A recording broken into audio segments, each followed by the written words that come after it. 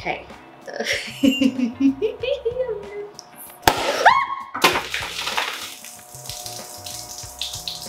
Merry Christmas!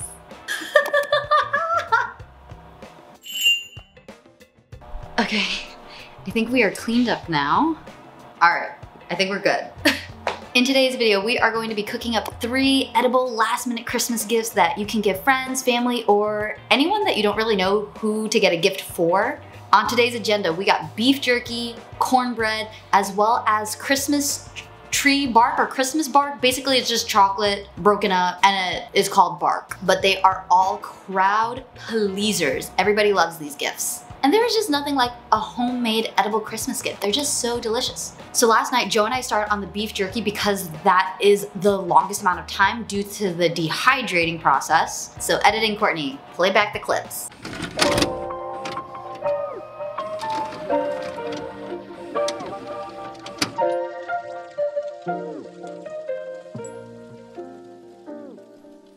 Haven't had one friend who has disliked receiving beef jerky from us. And the greatest thing is you could also do this to tofu and it is still banging. Oh no, what are we gonna do? The marinade that we use is actually Joe's secret formula, but you could use whatever marinade you'd like, whatever you use for steak. I am sure that it will come out just fine. Good morning. But it is 9.19, so we're gonna want to start the beef jerky.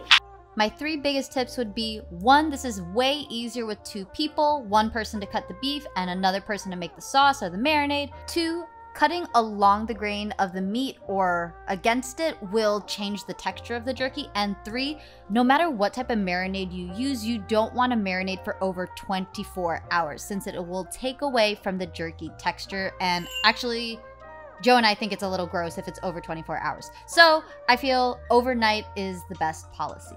And for the most part, beef jerky is really easy once it's all prepped up. You just have to take the time to put it on the dehydrator and then take it off and re-put it on. And now we are going to move on to the cornbread. To the cooking station. Oh. Ha!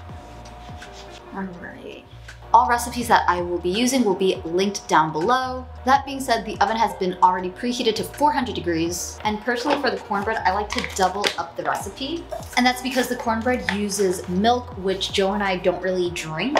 So if I have to buy milk, I like to find ways and make sure that all of the milk is used before it goes bad. All right, we got the cornmeal. Ah. Ooh, let's get a double camera action going. Give me a second, guys.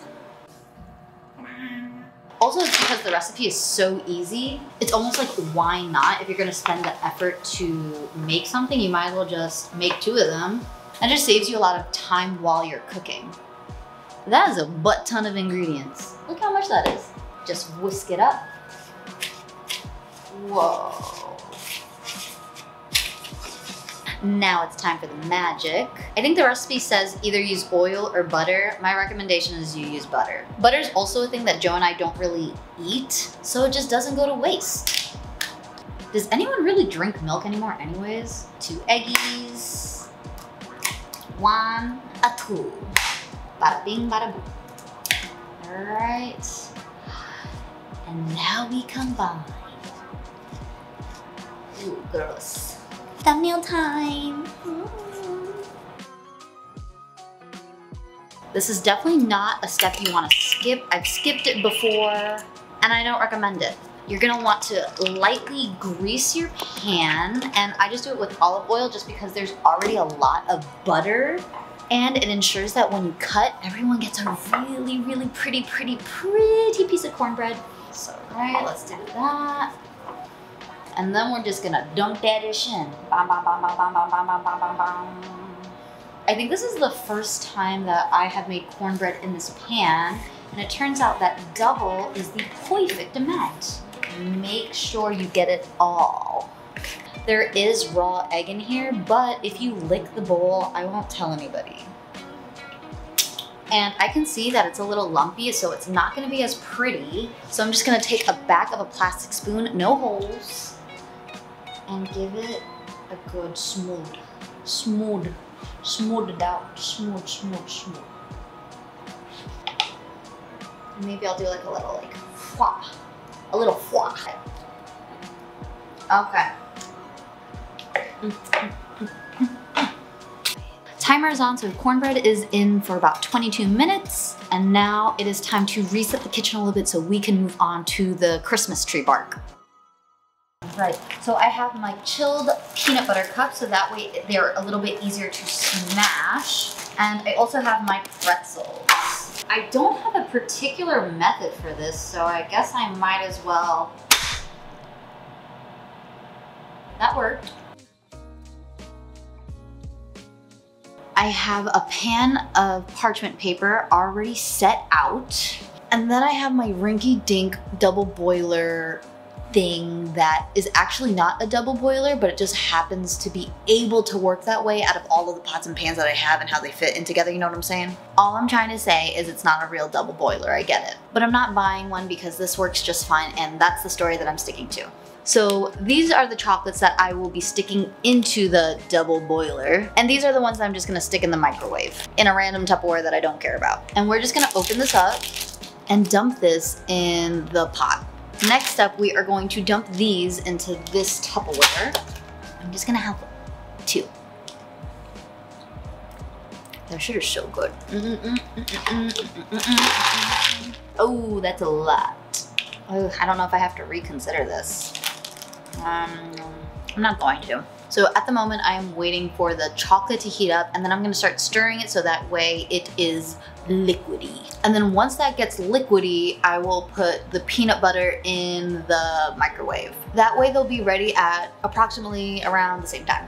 We have the parchment paper. We are just gonna pour the chocolate before it sets. We don't want that to happen. It's good.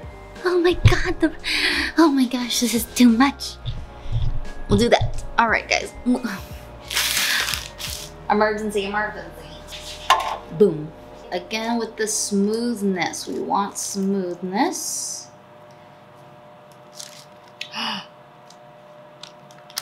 okay, it's fine. This doesn't have to be perfect. You just don't want it so thick. So let's move that over here. Next we have the peanut butter, but you can see that it's still so thick. So you can add some shortening. This is just some old-fashioned Crisco. If you need shortening, do not go crazy with it, okay? Just add a little bit at a time. So let's try this out. Yeah, buddy. So let's get some drizzle in there. Oh, come on. Come on, more, more, more. All right. Oh yeah, oh yeah, oh yeah. That was a good spoonful. You kind of want a Pollock Pollock painting. I don't know how you pronounce that guy's name because I'm uncultured, but that guy. And as soon as you think that you have a good amount, I like to take toothpicks like this. And let's just swirl it up even more. Like, whoa, yeah, buddy. You don't want to do too much because then you're gonna mud it up. It's not gonna look as swirly. Once you feel that you have the base exactly how you want, we can start putting on toppings. So I have the pretzels. Now we have peanut butter cups. Oh yeah, oh gosh, oh yeah. Mm -mm -mm, mm, mm. It is so pretty, I love it. So now you have two choices. You're either gonna let your bark set in room temperature or if the temperature was way too high, you're gonna wanna put it in the fridge. Just know that the chocolate bark itself will not be as stable and will continuously need to be refrigerated. But to speed up the process, because I'm a little lazy, I'm going to put it in the fridge for about 30 minutes and then I'm gonna take it out. But this is what it looks like going in the fridge. The last step that makes a homemade gift so special is decorating it and making it your own and making it special for your friends so that they think this is such a beautiful gift. So I like to buy Ziploc bags that have Christmas patterns on them, little Christmas tins, as well as write a personalized note card for them in the boxes. Another reason why I love these recipes is once they are done, as in they're finished cooking and setting, you just have to cut them up and put them away. So the only thing that I didn't make very presentable was the cornbread because I'm bringing that to a party. So I just pre-cut it so that way we were able to eat it easily at the football game, which is where we were seeing our friends. You see what I'm saying? Uh, but you could wrap that up too if you really wanted to. And here I am just finishing up the boxes and this is how they turned out. I really, really love them and I hope my friends really like them. Anyways, thank you guys so very much for watching and I hope you guys have a wonderful holiday. Thank you for making this year so special. All right, I have to stop talking. You could watch some of my other videos if you'd like, or subscribe, or like this video, or comment something. What did you make your friends? Okay, I gotta go. Bye.